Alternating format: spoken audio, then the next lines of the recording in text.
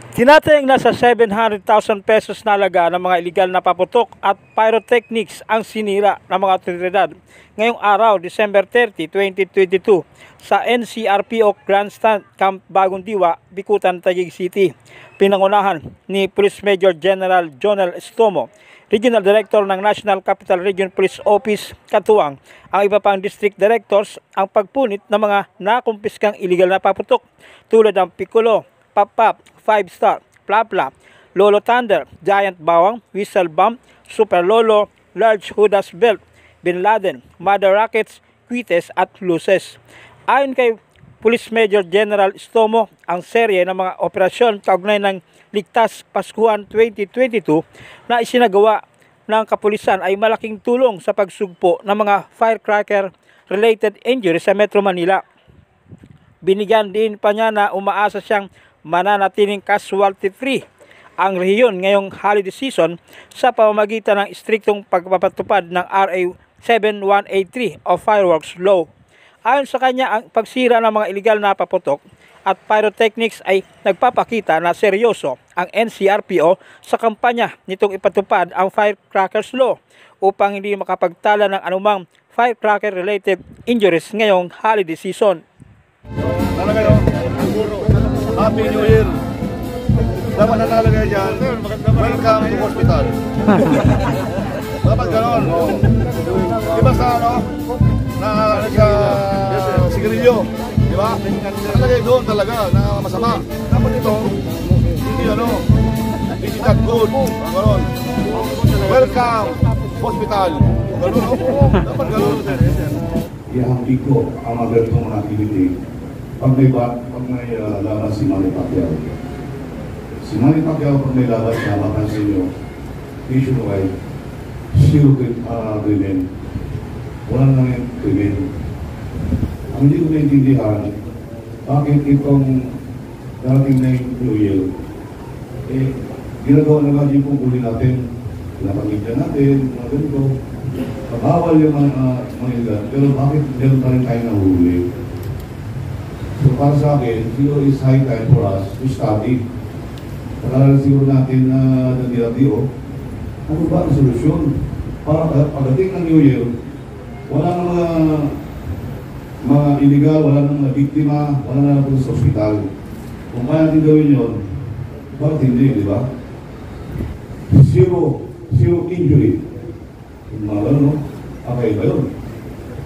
Pag nagawa ni, ano yan, ng ating mga district, anyway, nagmumundar naman tayo, okay, hindi pa naman tapos ang laban.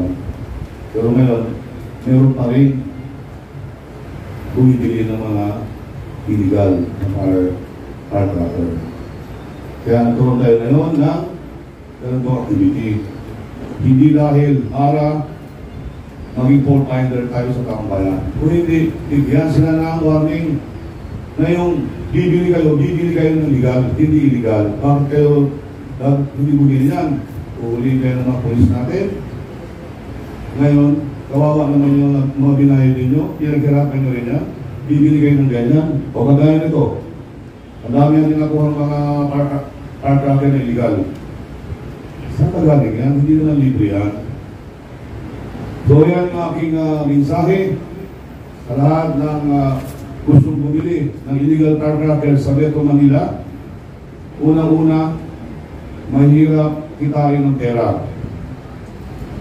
Pangalawa, pag kayo bumili niyan, parang tinutulungan niyo pa yung mga mayayaman na lalong pagyaman. Pangatlo, mahalin yung buhay ninyo kasi pag kayo nakulong, wala kayong hanap buhay. Apektado lahat, pati pamilya ninyo. Yan ang essence ng activity natin ngayon. Bigyan ng warning ng taong bayan.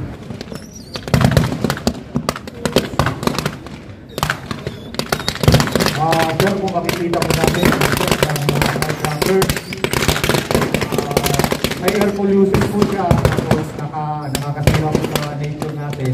Malakas po yung pagsabog nakakatira din po sa uh, katawan. So, sana po, uh, uh, just as an example na huwag ko natin tapulit ng uh, ah, mga bawal sa ibang.